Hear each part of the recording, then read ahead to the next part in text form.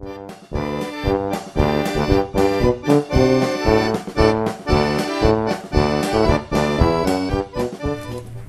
it's Mike again with Utastic.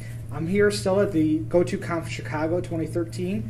Right now, I'm sitting down with Mike Lee, who's created the Appsterdam movement. Uh, he was a, a keynote uh, end of the end of the day keynote speaker yesterday, talking about mobile development. But also, you have this thing that you're calling the Appsterdam movement. Uh, well, first, thank you for sitting down with me. My pleasure. And what is the Appsterdam movement? Uh, well, you know, Appsterdam is an organization that started two years ago in Amsterdam, Okay. and it was uh, it was really about this idea of you know, going to these tech conferences, Mhm. especially these really community-focused ones like GoTo, Right. and being really inspired by the way that when we're with each other, when we're together with you know other people who are into the same stuff that we're into, it makes us somehow smarter. You know, it, it, it's we share ideas freely. We can you know easily bounce things around. I mean, every time I come to a, a conference, I just feel like my brain has just really really gone somewhere. You know, Right, right. It- it's a fantastic feeling, and I thought. We should have that feeling all the time. And so we tried to come up with ways to try to make it like there was a technology conference in the city of Amsterdam all the time. Uh, it very quickly ended up spreading to other cities and other countries, even all the way here to Chicago. Right, right. Yeah, one of the people who I'm drawing a blank on, uh, I, I bumped into yesterday, and was saying we have Appsterdam here in Chicago. Uh, so, is it is it a user group or is it something else? It's kind of in between. Okay. Because the thing about Appsterdam versus pretty much any other like technological organization Mhm. is that it's open to everybody. Right? So it's not a particular platform, it's not a mm-hmm. particular technology. We like apps. And if you like apps, we want to talk to you. And not just the technologists who like apps, the designers who work on apps, but also, you know, lawyers, marketeers, other people who are interested in apps. Or even imagine if you were, say, a publisher and you don't know anything about apps. You don't really want to know anything about apps, mm-hmm. except that apps are destroying your business. Right. So you need to know about apps. And, and where do you go to talk to people about apps? That's what Appsterdam is. It is, in the spirit of Amsterdam, a middle ground where everyone is welcome to come together in the spirit of creativity and commerce. So, when you say apps, you are specifically talking about mobile, iOS, Android. Really, we don't care. Bring Okay. your own definition. If, Mhm. if it means mobile, if it means Android to you, uh, that's fine, right? If you are more concerned with like web stuff, like we are not in the business of lawyering the definition of an app. Really, Yeah. we're just a friendly bunch of technologists and, and, and you know lots of people who like to hang out with technology. But, uh, well, at the very least, it sounds like it's it's people who like to deliver product. Hmm. It, it- you know, it's not. I like to obsess over this algorithm. It's we want to deliver things. We want to make things that people get into their hands, whether it's on an iPad and phone, or it's on a computer via website or whatever. It's it's about delivery. Is what it sounds like to me. Well, it really is, but at the same time, there are so many different aspects to what we do, to the making of an app. You know, like when you're trying to hire somebody, you want to look for things like: is this person a, a musician? Right. You know, does this person have adventures?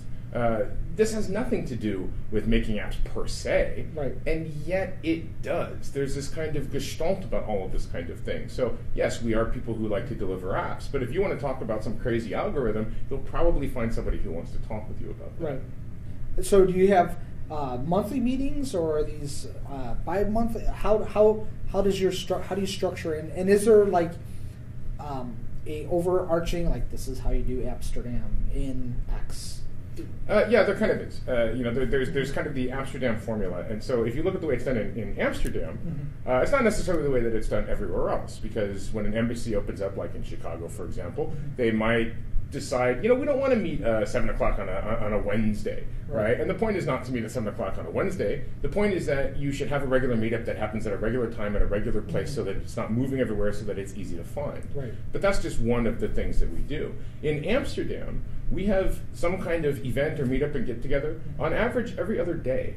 Oh, So- okay. So this is way beyond the monthly. It is really about there being a tech conference all the time. If you come to Amsterdam for a week, there's going to be at least one lecture for you. There's going to be at least one, you know, get together and drink event for you. Uh, there's there's very likely to be some kind of a workshop or a, a, a, casual weekend get together to play games or go to a museum or you know get our families to know each other. Uh, we do all kinds of crazy stuff. So this is this sounds like it's really about you're really focused on building a community. Very much so. Yeah, not not let's get together and, and have our little social club, but this is this it's, it's, it's far beyond the social club. For example, the reason why I know that we have uh, an event on average every other day is because the University of Amsterdam uh, has a research project to measure Appsterdam and its effect on the city. oh, really? Yeah. Really? So what what have they found? Uh, well, for example, if you were to look at the, uh, uh, they have some, some, some criteria of like you know Appsterdam related businesses. right? Okay. And then they looked at the Chamber of Commerce and they looked at business registrations, and you can see a something like a fifty percent increase in the number of technical businesses opening up since the advent of Appsterdam. Where they did a comparison of the top technology related meetups in the city of Amsterdam, for example, and found that if you if you stack all those bars up in terms of like number of events, Appsterdam has more events than basically everyone else in the city combined. Wow, this is a, this is kind of a surprise here on the camera for me because this is the first time I've heard of of any kind of quantifiable research into what technical communities, what the impact of them is.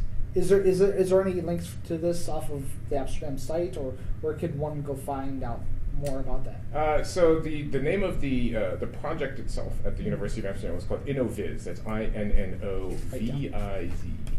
Uh, and we probably have some link to it or something on uh, on Appsterdam.rs, which is our, our homepage. Mm-hmm. Okay, yeah, that that's that, that boggles my mind that there's been this community here in Chicago, and uh, and I- I've not heard of it, but it sounds like it's a really vibrant community.